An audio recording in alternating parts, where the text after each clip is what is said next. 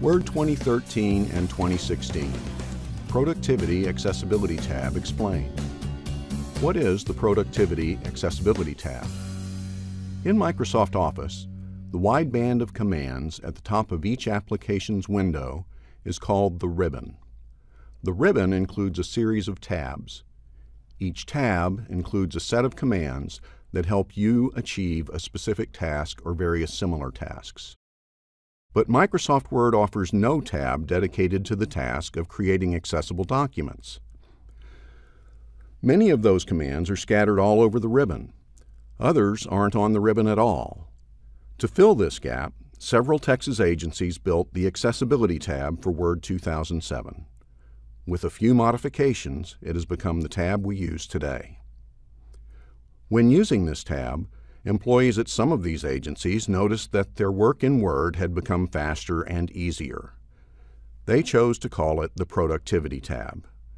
It's the same tab, and either name is okay. For simplicity, we call it the Productivity tab for the rest of this learning module.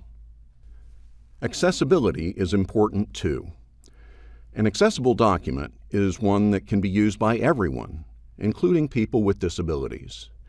When you use the correct commands in Word, creating an accessible document is at least as easy as creating one that is not accessible. Where to find the tab? Open a new document in Word and look at the tabs on the ribbon. If you see the word Productivity, the tab is installed and ready to use. By default, the Productivity tab appears between the Home tab and the Insert tab on the left end of the ribbon. However, some agencies might choose a different location. Other agencies might choose to install the tab in a deactivated state, so you may need to activate it before you can use it. Activating the Productivity tab. To see if the tab is installed but not active, open the Customize the Ribbon dialog in Word. Here's how to find out whether the Productivity tab is installed and, if it is, to activate it. 1. Right-click your mouse anywhere in the ribbon at the top of the Word window. A context menu will open. 2. In the context menu, click Customize the ribbon. The Customize Ribbon dialog will open. 3. In the Main Tabs list, look for a checkbox labeled Productivity Custom. If you see it, the ribbon is installed and you only need to activate it. If you do not see productivity listed, then you must import a customization file to get the tab. 4. To activate the installed tab, click the Productivity Custom checkbox. If the box is already checked, the ribbon is already active.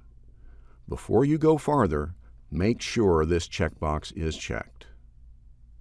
5. Click OK and you're done. After it is activated, you will see the Productivity tab between the Home and the Insert tabs in the ribbon. Installing the Productivity tab.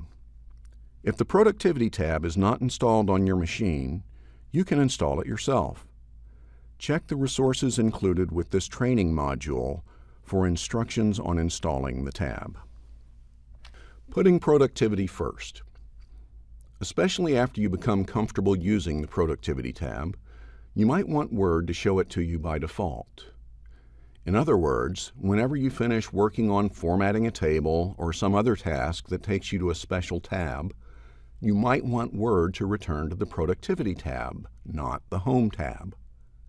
To make this happen, put Productivity first in the ribbon. 1. Right-click on the ribbon. 2. Click Customize the ribbon. 3. In the Main Tabs list, select Productivity, Custom. 4. At the right side of the list, click the up arrow until Productivity is first in the list. 5. Click OK. Now you won't ever have to look for the Productivity tab. Word will show it to you by default. Groups found in the Productivity tab. The tab is divided into several groups, labeled across the bottom of the ribbon. For now, let's look at each group briefly. File Tools. The File Tools group includes the commands to create a new document, open an existing document, save or print a document, or update the document properties. It also gives you quick access to the Accessibility Checker command. View the Accessibility Checker Learning module for an introduction to that command. Zoom. The zoom commands let you change your magnification level when viewing a document, so you can make the text larger or smaller depending on your needs. These commands change how you are viewing the document on your screen. They do not change the size of the fonts in the document. Structure. The commands in the Structure group allow you to view and change structural elements in your document, such as the text styles, headings, and table of contents.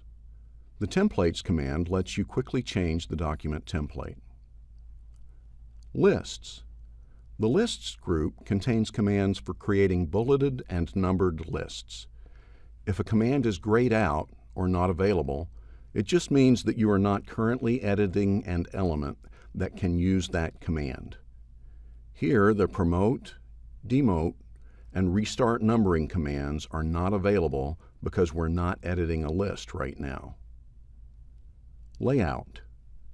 The Layout group includes the commands for setting page or section breaks, or changing to single or multiple column formats. One command in this group takes you straight to the page setup dialog. Tables. The Tables group contains commands for creating and editing data tables. You can insert a new table, convert existing text to a table or a table back to text, add a caption to your table, or open the Table Properties dialog. Language and Links. The Language and Links group has commands to set the language of the whole document or a section of text. Here you can also add bookmarks and hyperlinks to the document. Forms. The Forms group includes commands related to simple forms.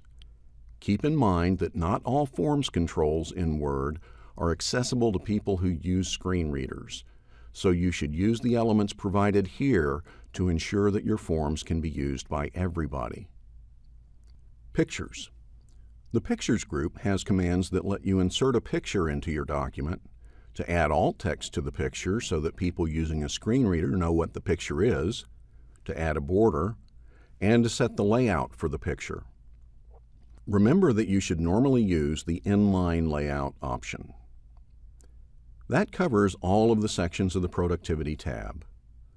Conclusion.